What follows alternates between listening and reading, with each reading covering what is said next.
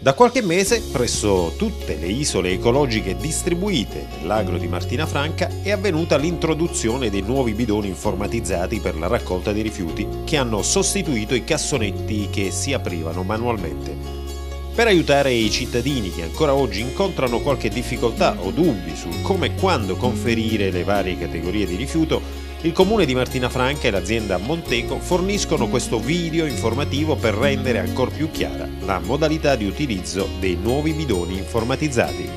Cominciamo capendo esattamente qual è il procedimento necessario per aprire la botola di un bidone per conferirne all'interno l'apposito rifiuto.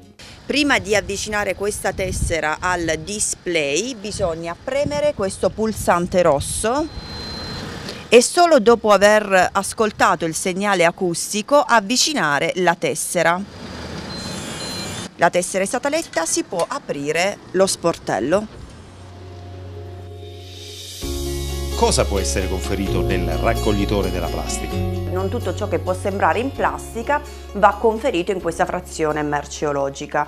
Ad essere destinati al riciclo infatti sono soltanto gli imballaggi, ossia tutto ciò che viene creato per proteggere o per contenere un determinato prodotto. Questo va ad escludere senz'altro tutti quei recipienti in plastica dura come secchi, bacinelle, che quindi non vanno conferiti nella plastica. La stessa cosa vale anche per lo spazzolino da denti o per i contenitori dei cosmetici che vanno conferiti nella frazione residua.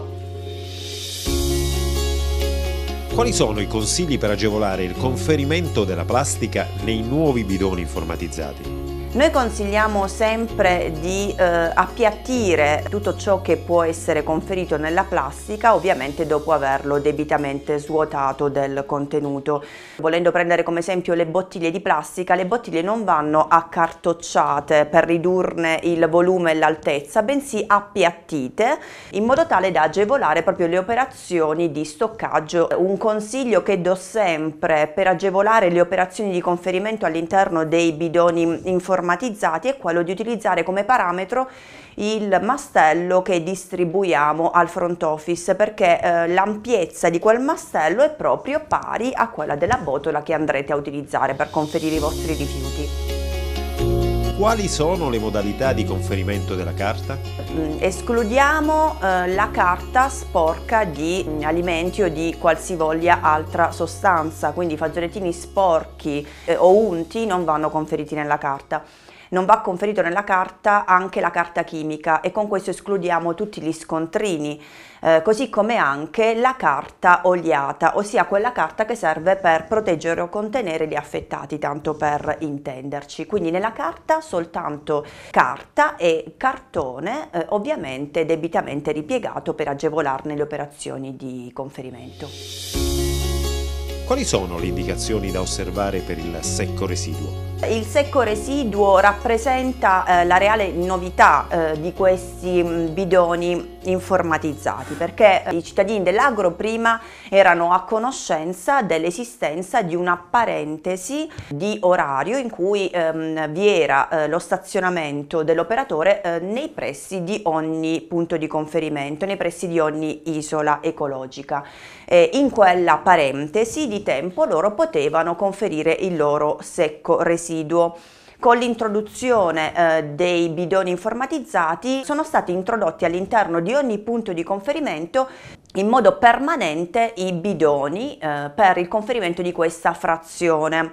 Ovviamente devono essere osservate determinate giornate in cui l'utente può recarsi presso il proprio punto di eh, conferimento di competenza e conferire questa frazione H24. Queste giornate sono due eh, nella fascia invernale e sono ben quattro nella fascia estiva.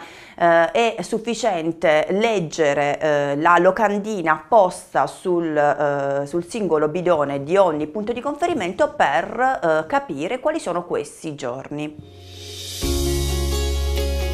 Riassumendo, Quali sono le principali accortezze da seguire per agevolare il conferimento nei nuovi bidoni? Allora io consiglio e suggerisco sempre di ridurre mh, il volume eh, dei rifiuti, questo non solo per agevolare ovviamente le operazioni di conferimento ma anche in vista di un'agevolazione proprio delle operazioni di stoccaggio e di riciclo come dicevo, che, come dicevo prima. Eh, in secondo luogo si deve sempre considerare che qualora si avessero quantità diciamo notevoli di plastico di carta o qualora si dovesse conferire un rifiuto diciamo abbastanza grande ci si può sempre recare nei due punti di conferimento, nei due centri comunali di raccolta che insistono sul territorio.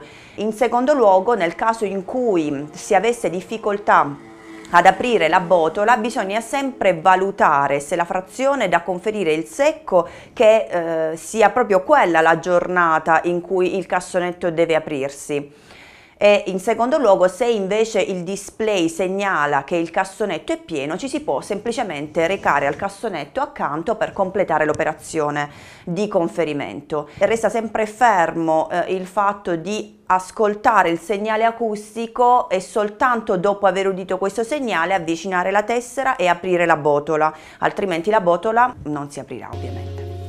Dove si trovano i centri comunali di raccolta e cosa si può conferire? A Martina vi sono due centri comunali di raccolta, uno ad Ortolini e uno nella zona industriale. Questi due centri comunali di raccolta sono aperti in orari differenti proprio per consentire l'utenza di poter soddisfare insomma, le diverse esigenze che ognuno di noi ha nel conferire ovviamente i rifiuti. All'interno di questi centri di raccolta ci sono i nostri operatori che non solo vanno a monitorare le operazioni di conferimento ma vanno a coadiuvare proprio il lavoro dell'utente per cercare cercare di mh, aiutarlo a conferire nel modo più corretto possibile. Cosa si può conferire in questi due centri di raccolta? Non soltanto carta, cartone, plastica, metalli, vetro, ma anche vestiario usato, lampadine, stampanti, toner, elettrodomestici, ingombranti, olio vegetale esausto e tanti altri rifiuti che sono minuziosamente eh, elencati eh, nei eh, libricini esplicativi che noi quotidianamente distribuiamo eh, presso il nostro front office.